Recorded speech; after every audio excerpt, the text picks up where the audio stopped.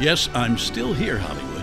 And coming up on today's episode, I get addicted to um, housewives. I mean, you know, uh, Beverly, yeah, Beverly Hills housewives. I get addicted because they get to be. Many of them are friends, and many of them are people I've known or been acquainted with over the years. It, it, it, several are, but you just get you just get like you're like, I wonder what's happening over there today. Like you really do.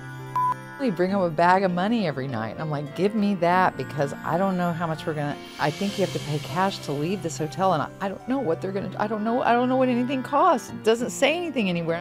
I got hacked at my own. I did it. Somebody called me and get, asked me for a code, and I gave it to them. Don't. No. Apple. No one will ever call you and ask you for any of this information. Do not give anybody information on the phone. strong, independent women in TV comedies have always been a hallmark of the genre. Dishing out laughs while solving problems with wisecracks is comedy gold. For 11 seasons, starting in 1993, there was one woman on NBC who perfectly sliced and diced the punchlines with her sharp tongued delivery. This is Still Here Hollywood. I'm Steve Kmetko. Join me in today's guest from Frasier, Peri Gilpin. Hi, Peri. Hi, Steve. It's so nice to see you. Thank you. How are you doing today? I'm good. Um, I watched, I just caught this morning on Roku, thanks to Roku, the most recent episode of the Frasier reboot. You weren't in it enough, was my that's impression. I wish you were in it longer, although you had the best first line. I think You so. looked like crap. Yeah, right. Um, do you miss playing Roz all the time? Um, I did miss. I do. Yeah, I. It was a great character, and I loved her. Uh, I loved how, um, you know, what a, like how adventurous she was at, in the beginning, and then it was such a huge change when she had a baby. Alice. and yeah alice and so i really missed the um i don't want to say the word freedom only because but the, the freedom of just doing whatever you want to do pre-kids and i always knew that but once i even had a i didn't you know my sister-in-laws were all having babies while i was fake pregnant and i would talk about my pregnancy and they would have to be reminded that I wasn't really, pregnant. but some, but it, because my character was, there were some things that I experienced before I ever had children that I, you know, gave me pause, gave me stuff to think about. Uh, Not pause. I wanted kids, but I just, wow, life really does change. How, how close were you to Roz in terms of who you are and who she was? Uh, pretty close, I think, in a lot of ways. I was, I, I, I had my wild years earlier. Once I moved to LA, I was kind of like most people here, kind of in a bedroom community, kind of early to bed, early to rise, healthy eating, and you know, not, not well. My, if anyone hears that, they'll laugh their ass off. But I was not like her at the time. I had been more adventuresome in my personal life. And so I don't, but I didn't know anyone that wrote on the show at that time. So I don't know where they got their information, if it was based on me.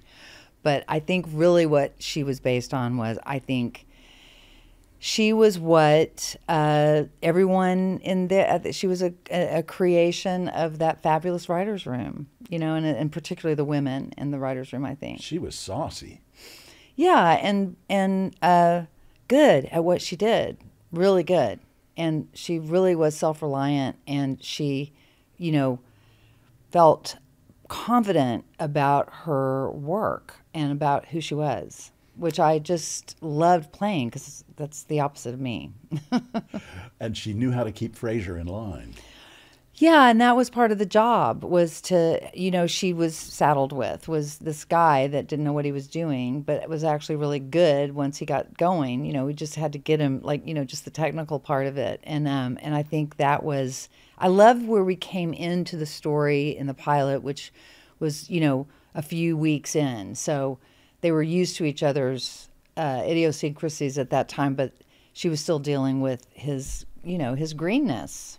Do you ever watch old episodes? I hadn't for a long time, but I, I, when watching these, you know, they'll they'll kind of roll right into them, and um and I, we start we watch my husband and I and kids have watched a couple, and they're they just are amazingly good. I think, and I know I'm on the crowded side of the room in this regard. I think it's one of the best sitcoms ever in the history of television. I it's right so. up there. The I- writing, the acting, the casting was perfect. Yeah. Was it easy to get right back into it when you did this most recent reboot? I was worried. I was really scared. Like, what? Am, how am I going to do this? But I walked on the set, and it was a different sound stage, but it was, um, but it was on the same, you know, at Paramount, and you know, I just sort of walked in, and Kelsey was in just in the middle of it all. He was, uh, he directed it. He directed that episode, and I love. I always loved working with him as a director. He's a great director, and um, it just I don't know. And the cast was so friendly, and there were several people I'd worked with for all those years and kept in touch with. So there were a lot of people around to just enjoy it and lap it up, and you know, really just make the most of it. So it was. I was scared, but once we started, and he did a great thing. At, when the door opened and he responded so hugely, you know, it kind of gave the audience permission to do that too, or I don't know, cued them to do it, I want to say. But it was very sweet, and I felt very thrilled to be there. And it was thrilling to hear them respond that way. And it was thrilling just to be on the stage with Kelsey again. Mm-hmm. You know, there's uh, one episode in particular that I watch whenever I'm in a bad mood or whenever, whenever I want to see something that makes me feel comfortable. Uh, there's the episode Ham Radio, which I thought was so hysterical, where you do this um, radio play, a mystery, uh, that is just so very funny, and the timing and everything is so great. And I, and you had had dental work. Roz had had dental work, and she's trying to do her part. And uh, and that one line that always cracks me up is, "I can't believe one of my guests could be a multiple murderer." so funny. Um, And you know who wrote that was David Lloyd, who wrote, you know, Chuckles the Clown. He was Oh. on Mary Tyler Moore, and he had written for Dick Cavett and Johnny Carson, and he was our uh, consulting producer, and his son Chris Lloyd ran the show, and um, and you know, of course, we had just the most amazing creators of the show were David Lee, Peter Casey, and David Angell, and um, besides that fabulous bunch of writers, there was a whole writers' room, and we just we just had the most. I mean, we just had the most amazing writers. That's just all there is to it. yeah, it was it was a, a, a classic landmark series. But he, but what I was going to say is David Lloyd phonetically wrote out mubbabas. Like, so yeah, he knew, he, like, he didn't just leave it up to me, which he, and he was always such a, so kind. It, he would have been fine if I wanted to do it myself. But I was like, oh my God, you went to all this trouble. This is perfect. I know just what to do. Like, then also, you're not just trying to do it over and over again and do you know you you can actually do it the same because you've phonetically done it but it was so great in the script and another time they did that to john they put like he was supposed to be talking about a town in korea when he was in the korean war i guess. And so they they put they put it in the script. And he went and did his homework and so he pronounced it perfectly at the table read. And they all went whoa and he got you know he got an ovation you know and then not a standing you know he got a clap they clapped for him. But then after that for the rest of the week that town got name got longer and longer and, and you know and john you know john kept and it was just very funny because they you know the writers and the actors on that show just really had a great time together Does it seem like it was that long ago that you actually uh, began work on Frasier? It's like what, thirty years or so, isn't it? yeah Does it seem that long? yeah Oh, it does. Time doesn't fly when you're having fun. Well, no, I mean, it- you know, I think about it all the time, and those those are marked pretty clearly on in social media. You know, it's been 22 days and three, you know, 22 years since Frasier. Like you see it all the time. I wouldn't have thought about it if it weren't for social media, but they do kind of mark that, and um, and so you know, you think about it, you it makes you think about it, and you and I think that's good. I think it's good to remember how long it's been. Why? Well, because I, I think LA at that time sort of sneaks up on you a little bit. There's no season. You know, there there are there are seasons, but there's no really marked seasons, and uh, you can. I think we are all because we're all. You all you do the same thing your whole life. you know what I mean? Like Yeah. you, so it's sort of oh, you're like, am I? Um, I'm doing what I did at 20 now, and that is. Is that what I had planned? Is that what I wanted to do? And it is. But, Is it? But yeah, but it but it's also like wow, I've been doing this a long time, and a lot of times you'll have the exact same discussions with your colleagues, you know, about this or that, and it's funny because there's ne- it all comes down to the roll of the dice, you know. Yeah, it does in this town, doesn't it? It does. Are you glad you came here? Are you glad you do what you do? Yeah, I am. I am very glad. I have no. I, I have no regrets. I have always. I grew up in a family of actors. SAG, I was on SAG Insurance as a child. My fam, my whole, my mom, but local actors in Dallas. You know, people that did commercials and things like that. And so we everyone's always lived kind of audition to audition or job to job and um, you know you have to you're freelance so you are prepared for the downtime and you try to stay prepared for the downtime and i think sometimes you don't you know i always say if you if, if you want to get a great job that you can't turn down or that you have you know you can't even argue with buy a non you know refundable ticket somewhere you've, you're dying to go. You know it's just always like you're always tied to this place. And i wish i wish i would have had a few more adventures but i will. And i think also the pandemic is making me feel that way and the uh, that time we all spent indoors i just really I, I enjoyed it at the time but now i really want it back but it's tough tough What was the best decision you ever made regarding your career? um, auditioning. Well, I uh, the I think the best decision I ever made was I produced a play. A friend of mine came to me here in LA who was dating a guy. I don't know what happened to her. The last time I ran into her at a coffee shop. So at that time she was working on Survivor. She was on the production team for Survivors. I don't know what's happened since. So if but she was dating somebody here and she lived in Chicago, and I think she had a whole other life in Chicago. But she was dating somebody here, and she wanted to. She she she met me through him, and she said, "I'm going to give you sixty five thousand dollars to produce a play, and all I ask is that you put him in it." So I was like, "Are you sure you want to do that?" You know, and I and she said, "I am." And so I partnered up with a guy that's still a great friend who'd gone to Yale Drama School. And I spent a lot of time at Williamstown Theater Festival and knew them. And I spent a lot of time in New York. I lived in New York and I knew those, I knew this kind of group of people. And um, so he and I started looking for a play. And we would invite, we'd find a play, we'd invite all of our friends over to, you know, we'd rent out like a dance studio or something, invite everybody over to listen to the play. And about four times people would go, Don't, don't, no, do not spend that money on this. This isn't worth it. And finally, we found this great play written by Richard Greenberg while he was at Yale. And it's about a lot of Yaleys. And, um, and, and Neil knew him, and it was his first play, and it was called The Maderati. And um, we loved this play. It was hilarious. And we got Ron Link, who was fabulous comedic director, to direct us. And we did it at the Tiffany Theater.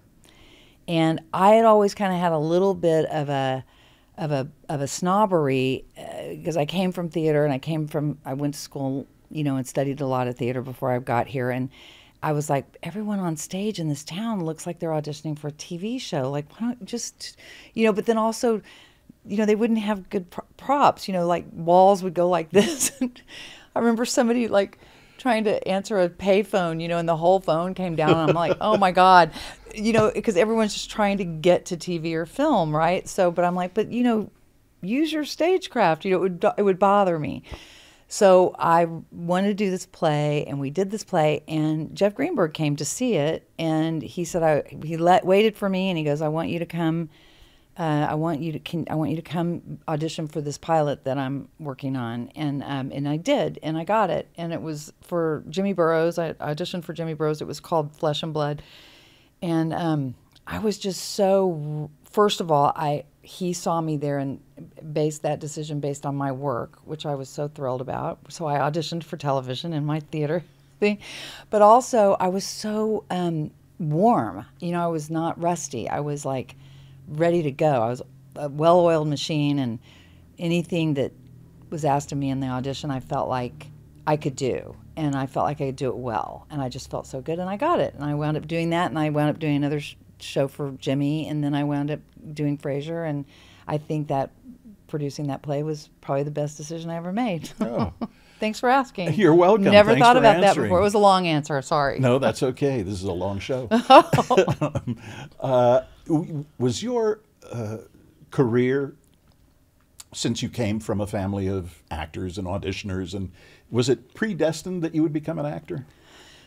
Probably, but I didn't look at it that way. My mom was a school teacher when I was born, and she was. I was born while she was actually in at Baylor in college studying to be a teacher. But and she'd married a she they married very young. My she married a guy that was trying to be a pastor, and I was born nine months to the day, hmm.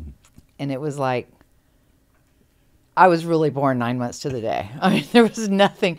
So they were very, very sheltered. And she was, you know, in her finals. I was born May 27th. She was in her finals of her sophomore year. And so I am, I grew up with my mom and I wanted to be a school teacher. All the years she wanted to be a school teacher. And, um, um, then after about six or seven years of being a school teacher, she would team teach with this other young teacher, and they had both taught special ed classes in, in their student teaching days. And once that's on your resume, you you can't not do that anymore. And it's just she just burned out. They they team taught sixty kids. They had thirty apiece that they combined, and that's just no one can do that for very long.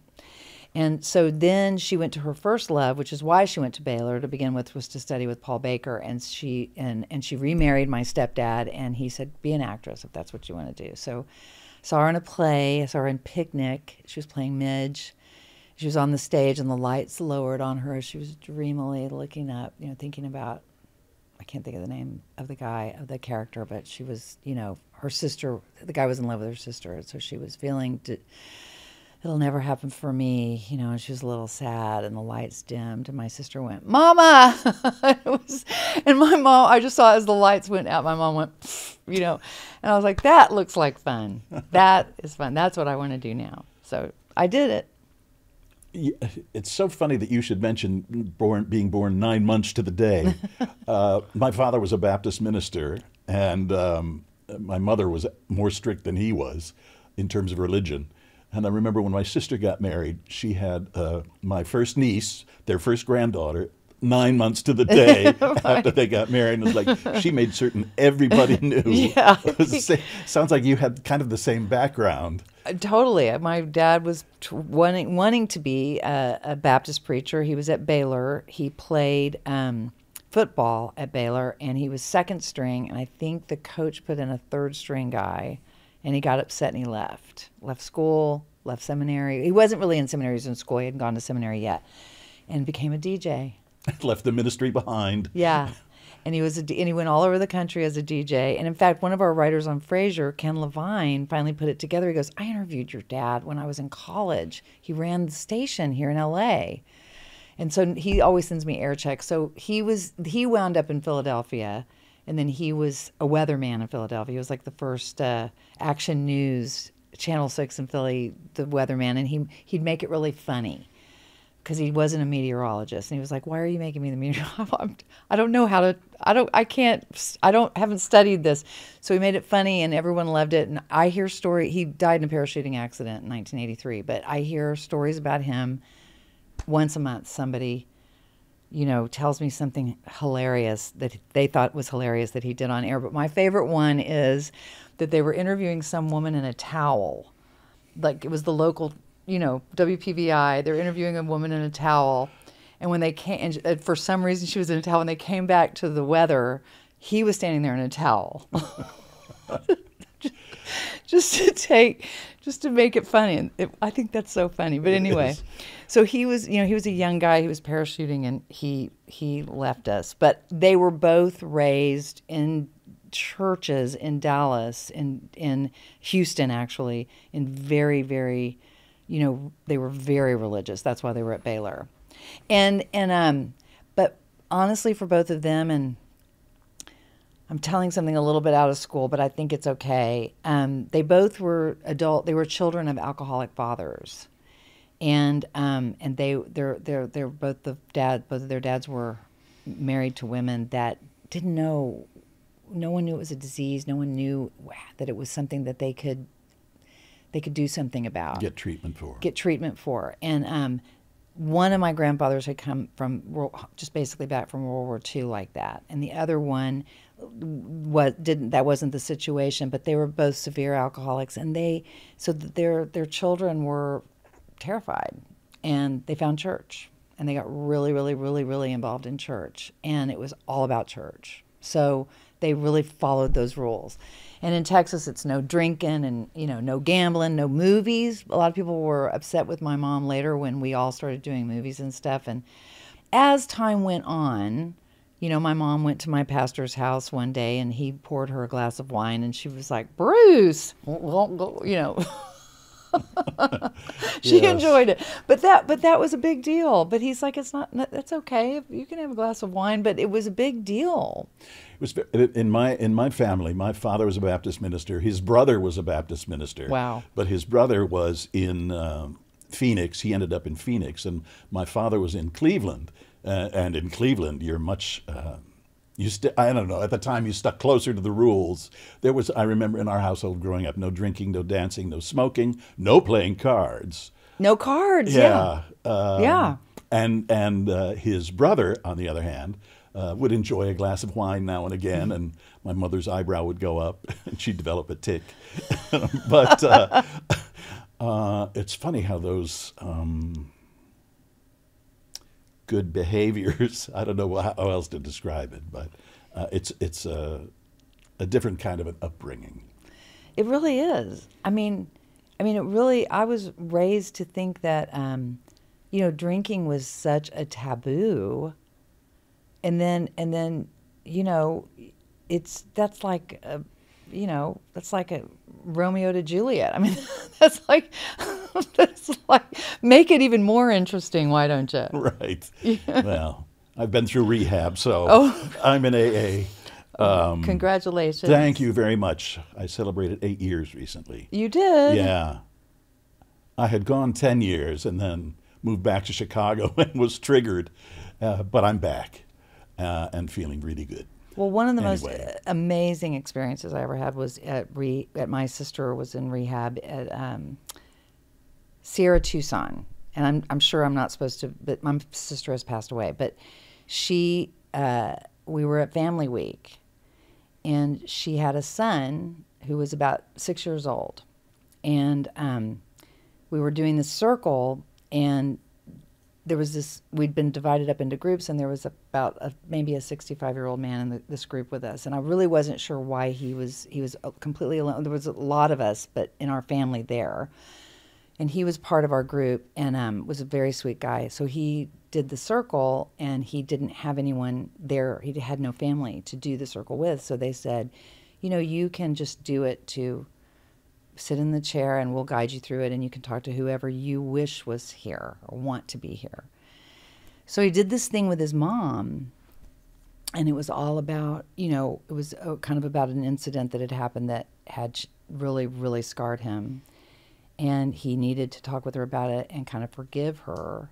It was incredibly powerful. It was the most dramatic thing I've ever seen on film, uh, in a stage, anything. It was really powerful and beautiful. Him talking to his mom and I realized that's why we're in he's we're all in the same group because my sister needs to hear her little boy needs to hear what her little boy might be feeling when he gets to be 65. It's sort of like the cycle of life and it was really really powerful and it was helpful to all of us.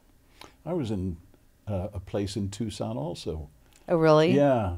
Yeah, it was a, a really good experience to be removed from your normal setting and we had the same kind of family situations, um, role playing, mm-hmm. uh, and none of my family could be there either. Um, but uh, they had other people in the in the um, program uh, who would sit and and role play to help you out. Uh, and my sister, who who was also in AA, came down to visit me there.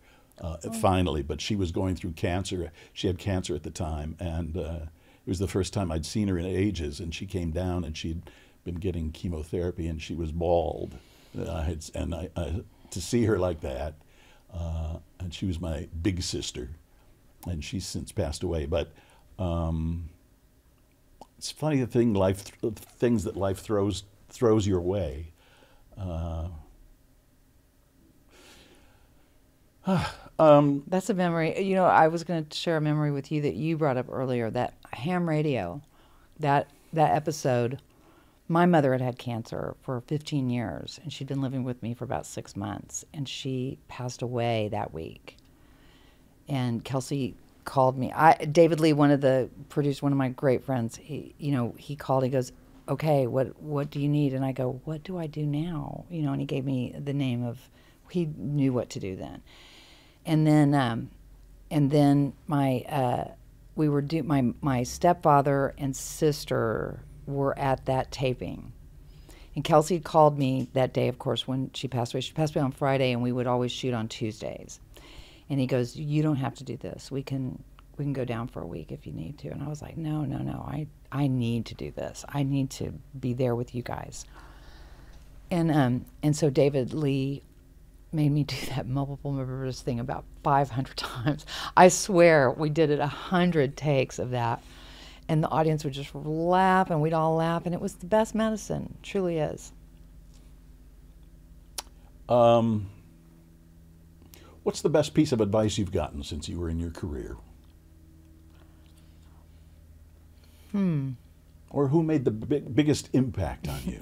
I think Jeff Greenberg said to me once, he goes, You're really strong. You don't have to play, play strong. I don't know why that makes me laugh, but he's it, it, it really, you know, and I unfortunately told my husband that, so I hear that a lot. Mm-hmm. You're really strong. you know, like a strong character. You don't have to come in the door like you don't have to add that in as a, something to play. It's already there, which I thought that was pretty good advice. Do you think that's true? Uh, I don't know. I think it's true in acting. I don't. I'm not sure if it's true in real life. Um, do you like living out here? Yeah, I do like living out here. I love California. If you hadn't been an actor, what would you what would you be doing? Well, you know, I grew up in Texas, and Texans have a very, very strong sense of being a Texan. At least we did. My family did. And I was very proud. I'm the kind of person who really takes that on, too. Like, I really love being a Texan. I don't always love being a Texan these days. But I do want to say that there are a lot of fabulous, wonderful Texans. And um, I don't think their voices are being heard right now necessarily. And that's I don't live there anymore. I don't live there now, so I don't. It's I don't. I'm not trying to take that on as. We all have our things we need to decide how much of our time we're going to give. You know, to help make it the way we think it should be. But um, I do love Texas, and um, and so I feel so guilty saying how much I love California. But I do love California and I love the U.S. I love being in the being American, but I love to travel too. Mm-hmm. Why do you keep asking me that? Where Where do you want to be? Do you like being in Chicago? Not this time of the year. yeah, Yesterday, when I was sitting on a plane waiting for the wings to be de-iced, Yeah. you know, I wasn't too happy about it then. And with my Uber driver being an hour late, and I was afraid I wasn't going to make it, and you know, It's a lot stress. whole bunch of anxiety. I tell people, uh, you know, when I when I first moved back after having lived in California for 30 years, um, a lot of people would say, ah, "What are you going to do about winter?" Well, I grew up in Chicago, so you know I was used to winter. I had forgotten what it was like, and and the first uh, I remember the first few times I went out driving my car in winter and getting stuck because I didn't have snow tires and I had front wheel drive or rear wheel drive, whichever.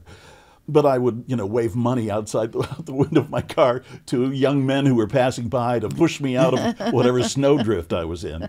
Of course, some parts of the country you could get arrested for that, but nevertheless, uh, it, it seemed to work. Um, Oh, that's nice. That's nice to think. I I can't, I can't, I can't even imagine that, that, that wouldn't work everywhere. We'll be back for more in a moment. Kelsey called me that day, of course, when she passed away. She passed away on Friday, and we would always shoot on Tuesdays. And he goes, "You don't have to do this. We can, we can go down for a week if you need to." And I was like, "No, no, no. I, I need to do this. I need to be there with you guys." I always think of that song, "The Best Is Yet to Come." I always think of that. I mean, LA is a place where you can slip so easily into ageism and feeling, you know, feeling. Um, uh, what is the word victimized by growing older. But you know my mom died at 55 my dad died at 43 wow.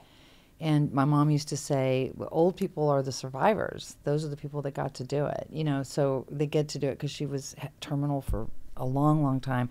So i don't i i, I had that experience and that i think that really helped me um, try not to get too down I also have 19 year olds. I, I had kids later in life, you know, so I, I was older than most of the moms around. Not all of them. There were a lot of, there were a few my age, but that was really funny. Like there was this one mom who would, like she'd say, well, they're, they're, they're off, uh, you know, they're in the golf cart on PCH. And I'm like, what? what?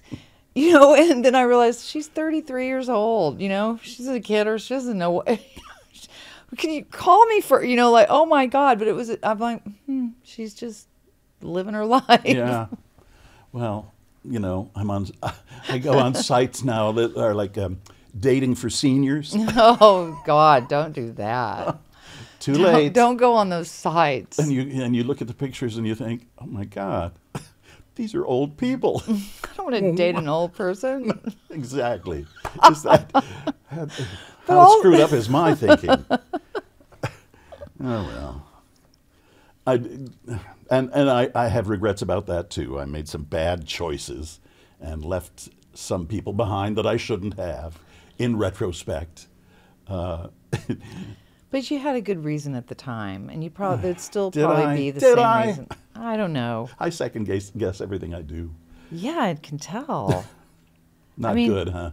Well, well, I mean, but but but did he really? I, I said this the other day. I was regretting something, and this person said to me, "Don't are your reasons still good?" And I go, "Absolutely." It's like, well, they, nothing's changed about that. No, so then I, I wouldn't. There, I only regret that I it didn't go a different way. I don't regret what I did. Why am I? I'm like, um, I'm, I'm preaching to you. Well, I appreciate it. We're the children of preachers. Yes. yeah. Um, and I, I, was talking to you the other day on the phone about, uh, I think the first time I met you was at, at the Cannes Film Festival when you were there to host that uh, um, charity auction. And, uh, and I remember you being uh, somewhat nervous about what to do. What am I, you know, what do I do? Well, here? it was, I didn't know. Okay, so I lovely Lily Tartikoff, who I adore, and I read an article about her when I first, not in the, my early years here. I remember getting the LA Times and feeling like an adult that I was reading the paper. Of course, all I ever read was calendar, and, and, there was this big, her, you know, she was married to Brandon Tartikoff, and they were the golden couple. And it was all about her years as a dancer and how what she wanted to do while she was here on this earth was work for people with breast cancer and she was really involved. And um, I just remember absorbing this article and thinking, what an awesome person this is. So I say this with, I revere her. But w- I hadn't seen her for a long time. Her husband, Brandon, had died. And we all went, I, would gotten involved with the National Breast Cancer Coalition after my mother died. She died of a, a very rare form of sarcoma, but but I got my friend Arlene Sorkin got me involved with the National Breast Cancer Coalition. So we were going to a luncheon where Dr. Susan Love was speaking, and um, I walked in with Jane Leeves and Maggie Randall, our my our producer and um, our line producer Maggie, and we were signing in. And I look over and Lily's signing in, and I go, and her, she I don't think her husband had been gone a month and I'm like, what are you doing here? She goes, I can't get enough. Like, this is, I'm like, oh my God. It was just so sweet that that's what she did for comfort. You know, was to go listen to someone speak about helping people get better and um, and how to deal with it psychologically.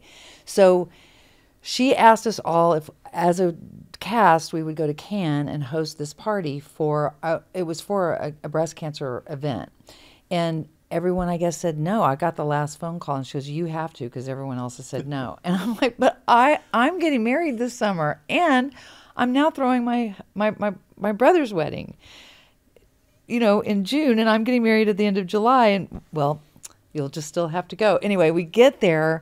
My husband goes. Another couple went with us. Turned out to be the most. She, I think, she gave us our room. Our room was the most beautiful room at the Hotel du Cap, which is, you know, just a fantasy.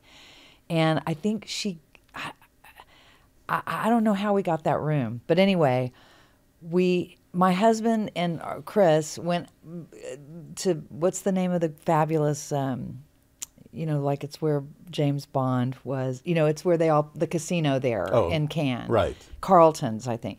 They all went there every night, and um, and ate these hamburgers. They were, they were called the American. They had hamburgers with French fries in them. I'll just never forget the French fries were in the hamburger. It was genius, and um and he would just was doing well. He'd bring him a bag of money every night. And I'm like, give me that because I don't know how much we're gonna. I think you have to pay cash to leave this hotel, and I, I don't know what they're gonna. I don't know. I don't know what anything costs. It doesn't say anything anywhere. I'm scared to death to ask. You know, so we go downstairs, and we um, we we we're, we've got our cash, and there's there'll be no charge, Miss Gilpin, and I'm like. so relieved so relieved. But also that's she was just so generous. Okay so but she was so generous. But every morning i had to get up and get my hair done and go do stuff something in my makeup and all that. And you can you have seen for yourself what an ordeal that is. And so then uh what so then i go to this party. Okay so the party was calvin klein and isak marazi am I saying his name right, had given all of this stuff to QVC to auction off reg- about the beach, like beach towels, tanning stuff, sunglasses, bathing suits, all this stuff. And the party was going to last until all that got auctioned off. So I'm like, what? That could be hours, you know? And um, and I don't really know. They're all movie stars that I don't know. It's not t. It's not the Emmys, you know. It's not TV. I don't mean it that way. It's not the Television Academy. It's the it's a group that I don't know very well. And um, and so I start walking around. My husband's behind me at one point, and he's doing that thing where you know you act like you're walking down the stairs, and then you act like you're walking because you just just because we we don't know what to do anymore. And that and what was brilliant was it all sold out in like 45 minutes. So I didn't have to do it very long. But I had on a million dollars worth of jewelry. I'd never had anything like that. And then and I was I just my makeup and hair and my dress. I mean, she just treated me like a princess. But so I really wanted to do a good job. But what was really cool was I was interviewing people like Jeff Goldblum and I and, and people knew so much and I ran into Salma Hayek and so I just I'm like, Will you talk to me for a minute? She went, Of course I will. And I said, you know, the National Breast Cancer Coalition shows and she just started rattling off more information than even anyone at the organization knew. She was a complete advocate. She was really there for that reason, you know, and she gave so much information. And it was an opportunity to talk about breast cancer with people that obviously really cared about it, but um, and, and you know knew a lot. And it was just, it, I was so nervous going in. It turned out to be a blast. Yeah. I remember we were talking. you could tell I didn't know how to finish that story. I could see that you could tell I was trying to wrap it up. no, no, no, no, no, no. I, I just uh, the thing that I remember so clearly is that uh, we were talking just about what you were doing there and what you were going to be doing, and you know the whole setting is so spectacular. And uh, at one point, you remarked that there was a guy who looked like Greg Louganis. I said, "It is Greg Louganis. He's here with me." Oh, yes, and that's the, that was the. Re- oh, that's right. it's like, oh, I, I knew that. you know. Oh, were you guys- very- oh, at the time. yes. Yes, yeah. Oh, hmm, I see. I forgot about that. I did forget about that. Uh, it was I've- just such a good time. and I he said do you, you keep in touch, right? yeah, yeah. I, just know did- I was used to watching do yoga classes with him Huh? in Malibu. I used to do Oh. yoga classes with him in Malibu. Oh, yeah. Do you know Scott Henderson?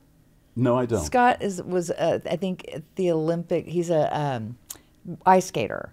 And I think he was at the Olympics with him that year, whatever. And they're good friends. But I, I, I Those Olympians hang out together. they do. Why wouldn't you? I don't know. You know, I played the mom of an Olympic athlete on a show called Make It or Break It. Uh-huh. And and it and it was all about elite athletes and how they basically it was for ABC it was for uh, ABC Family. So it was really a, it was about teenagers, but it's also one thing that we really delved into was how those kids really don't have a childhood. No, they don't.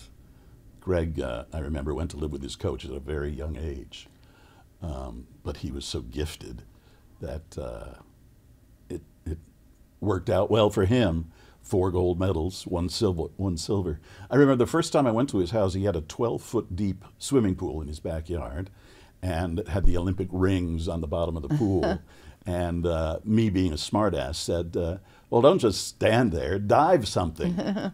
so he he went from a seated position on the platform. He he went into a handstand.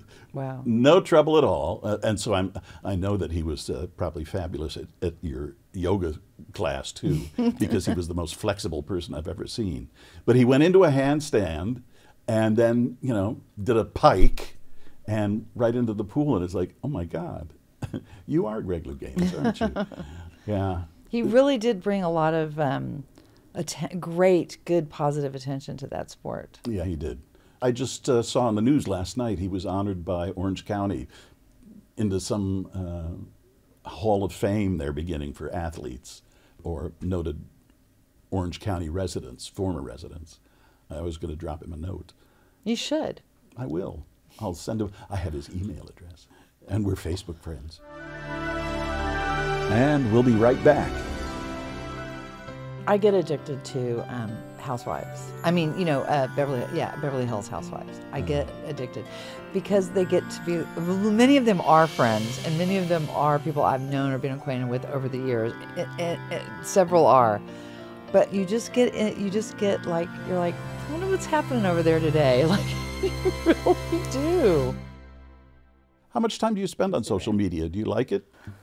I really got. I was doing a little independent movie with a bunch of friends, and I was saying, "What's Twitter? You know, what's Twitter?" And they're like, "Come here, I'm signing you up. You're gonna love it." You know, and so I really, really got way like into the rabbit hole of Twitter, and then somebody I got hacked at my own. I did it. Somebody called me and asked me for a code, and I gave it to them. Don't no Apple.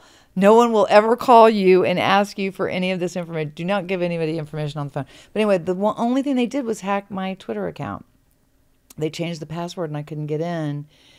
And I thought, okay, that's a sign. Stop it. And then also, Elon Musk was taking it over, and I just have such a problem with how he's handling everything. Who doesn't? He's a madman. But anyway, so I I do believe that he's right about free speech.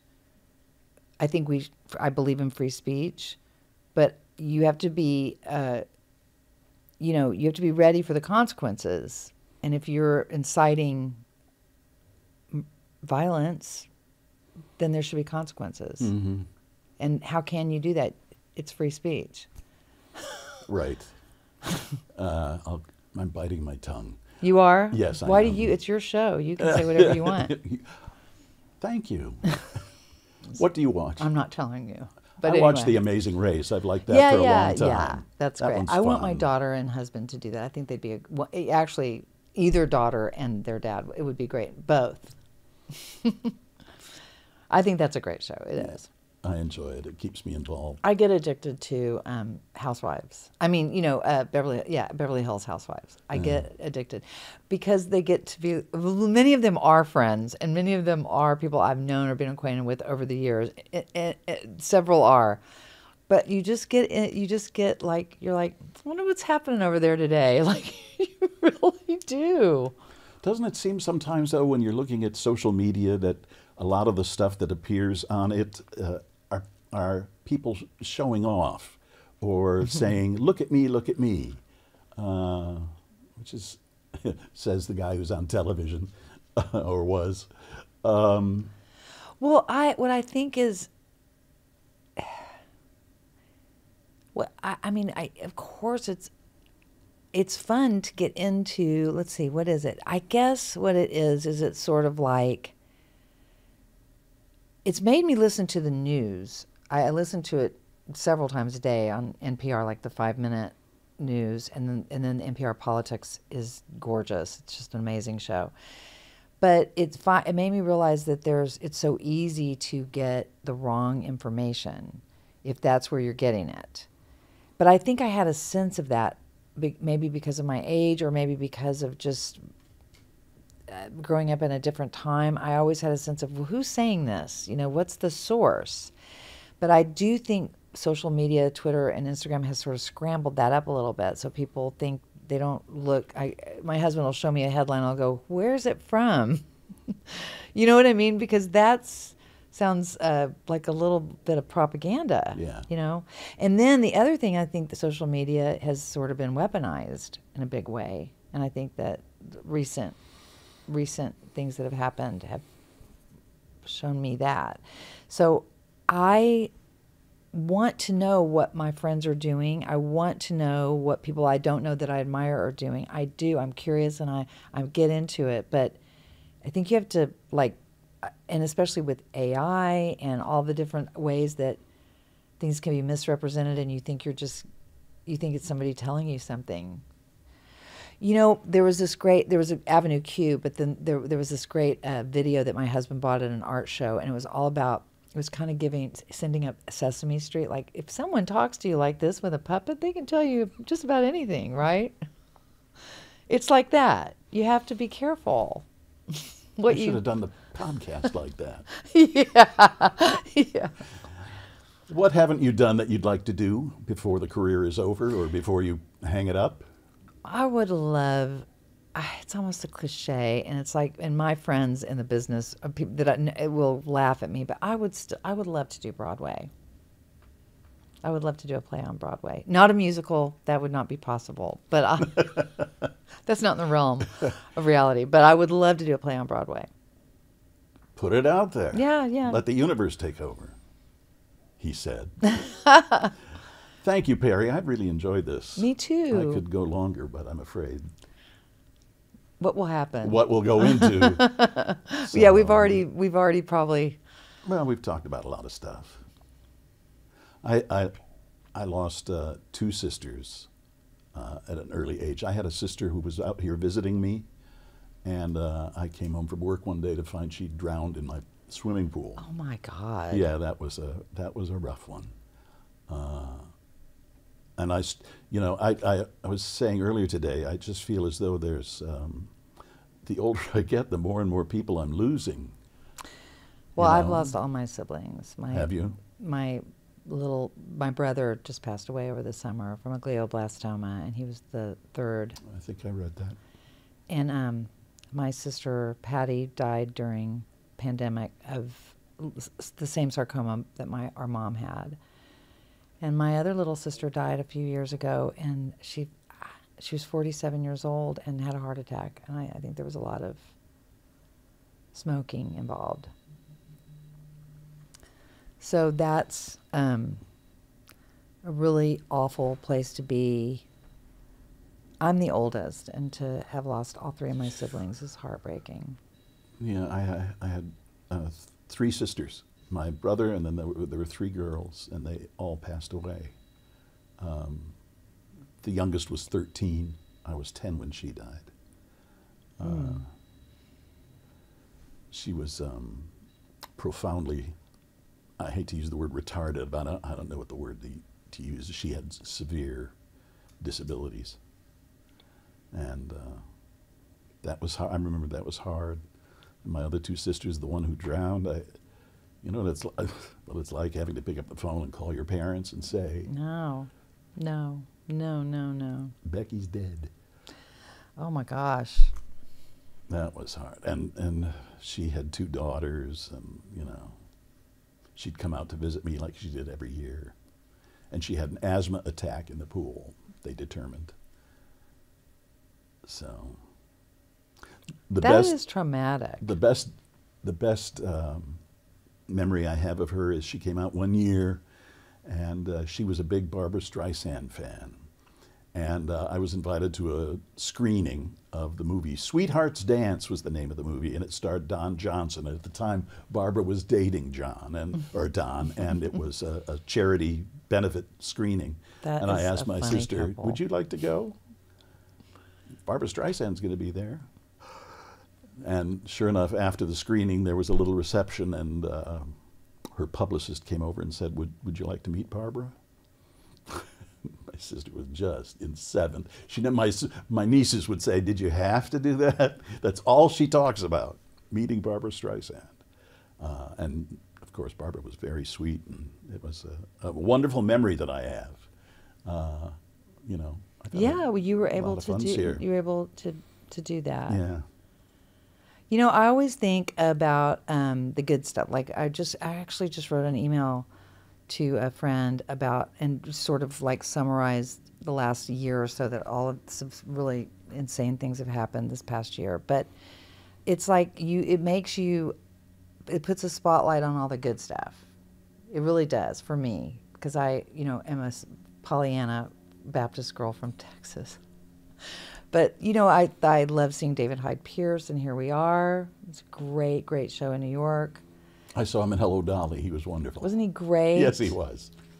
And um, I got to do a little play this past summer with a, uh, right after my brother died. I went and did this reading for a friend of mine. She was she was um, stepping down after 33 years as an artistic director at a theater in New Jersey. It's called the Shakespeare Theater of New Jersey, and she was starting this uh, classical reading program for kids because she said after the pandemic she goes they're not coming back i mean people are terrified to go into a closed space like that so her, she felt like her what she could do for her theater was really intensely do outreach towards children to get kids back in the theater you know so that they grow up and and want to come and so she did The Little Prince. And I have never understood that book. I tried to read it to my kid. It's the most read and the most sold book in the world of all time.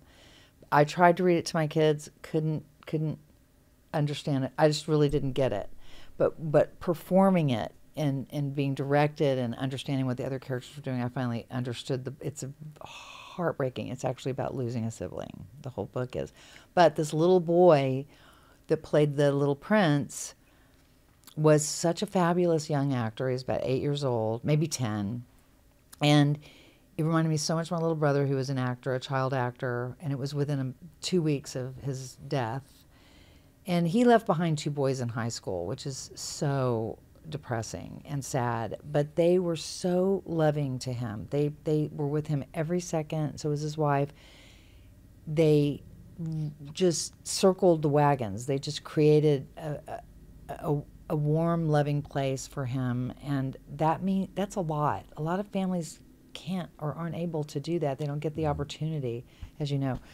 But this having this experience was so cathartic because I got to work with this young little boy actor, and I just kept seeing my little brother in him, and I'm like, this what a gift this is, you know, to be able to I just sit off stage and think about this is a good place for me. This business is a good place for me because it feels safe. So it, I think yours. I think it feels safe for you too. So I think you're doing the right thing. Thanks. Thank you. I need to hear that. I think we're done, Jim. Jim is such a good producer. Shakes his head well. Yeah. no, I I agree. You were totally. You know, we got this all worked out in a couple of emails and texts. One of the um, um, backtrack just a second. we, also, we also need to do like a real goodbye. Oh, Oh, okay. Okay. okay. Uh, well, it was great talking to you. Thank you, Peri. Have a I good really life. enjoyed having you here. Thanks for saying yes. You know, we're feeling our way through this. I've never done a podcast before, and so this is all new to me. Well, I think it's the same thing you've always done, right? Well, kinda. Talking with people. Yeah. Yep. Big names, famous Yeah, people. big name. Big name. Eric McCormack's pretty great. You're right up He's there with Bette guy. Davis and Oh, well. Maureen O'Hara, some of my favorites. Oh my God. We used to live in a, a when I first moved to LA. I lived in this apartment building on Miller Drive, like right above Sunset. Miller's like if you go up La Cienega and you cross Sunset, that's Miller. And th- we lived in this old Spanish apartment building, like it was like Melrose Place. It, Melrose Place was on when we lived Mm-hmm. there, but it was also it had been a hotel at one time, and Bette Davis had lived there, and there was and all kinds of people. Is it had called lived there. Villas- Villas- Villa Madrid. Villa Madrid. I've seen pictures of it. Yeah. I'm sure I've driven past it too. Yeah. Yeah. uh, Well, anyone that came over, and it was the man that, the guy that uh, managed the building.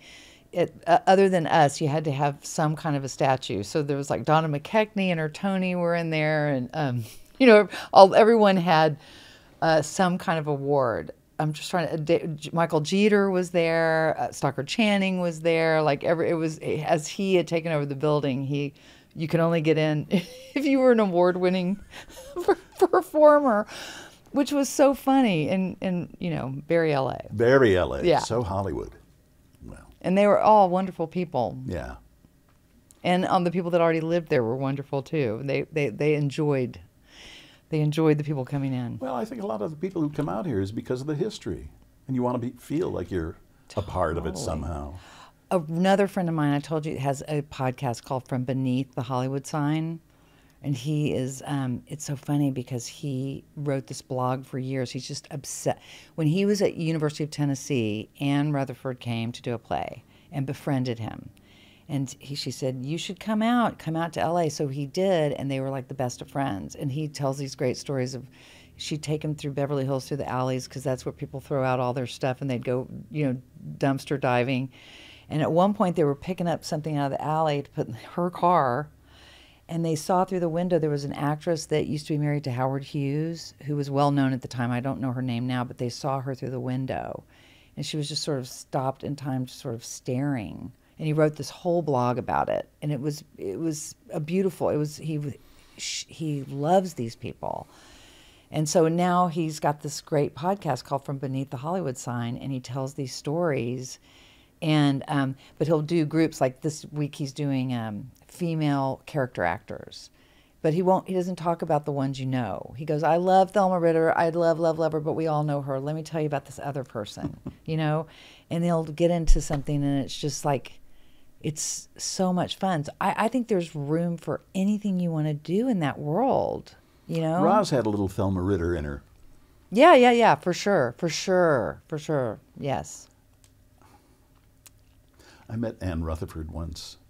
We were doing a, a whole bunch of things on uh, the was it the 50th anniversary of Gone with the Wind in 1989. But I met her and Evelyn. I can't remember Evelyn's last name.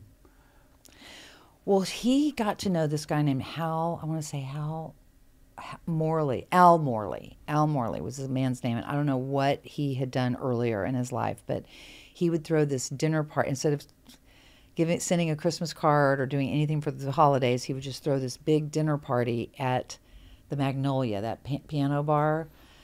And I mean, I literally walked in there once, and Paige, Paige, Paige Buchanan, like this fabulous ninety-year-old piano player, and they, you know, they had a mirror on the keyboard, and he was just, and then he was downing champagne. They're like, Paige, stop it! They were trying to get him to stop drinking. And and he and Marsha Hunt, do you know who Marsha Hunt? Yeah. She was a great friend of Al's and of Steve Cubine's. And they one night we all went somewhere together and I said she lived really close to me and I said, I'm gonna bring my twins over to see you someday and he she goes, Call first. she didn't she she didn't want to meet my twin babies. That was um, she actually just passed away at like 104 years old. But you know, she was blacklisted and then she went well she went with that whole gang to Washington D.C. Humphrey Bogart and all of them, and then they all kind of got turned when they got there. And she was the one that didn't turn, and she was just completely blacklisted. But later, it later she I was there at um, I think they held it at the DGA because it was the biggest place, but SAG, the DGA, the WGA, Equity, all the unions apologized to the few that were left. Do you remember that? It was No, like I 20 don't years remember. ago. And one of them died on the way to the luncheon in a car accident. You know, one of the big ri- the writers. Bad timing. He wrote Spartacus. It was Oh. He. I Not I Dalton Trumbo. Yeah, well, it was the other one. Dalton Trumbo was there, and then it was the other one. So maybe I had, but it was the. So he was on stage thanking everybody, we got to hear him give us, a, you know, thank you for thanking us and thank you for this. And then the next day he was driving to a luncheon and died in a car accident hmm. on the way to the luncheon. Isn't that the crazy? Yeah. Did you know Ronni Chasen at all? Mm-mm. She was a publicist out here, big name publicist, for a long time. She was going home from a party uh, for burlesque, and she was shot and killed in her in her Mercedes Benz in Beverly Hills on her way home. What? Did they ever? Yeah, it was. Well, you know, I don't know. The guy uh, offed himself eventually, but he was in a flea bag hotel downtown, and lots of people said not very kind things about him. But you know, it was just such a shock. Shock. I do remember waking up that morning to that. yeah. Well, thank you so much. I'm You're so glad you did this. welcome. I, me too. Still Here Hollywood is a production of the Still Here Network. All things technical run by Justin Zangerly. Theme music by Brian Sanashin. And executive producer is Jim Lichtenstein.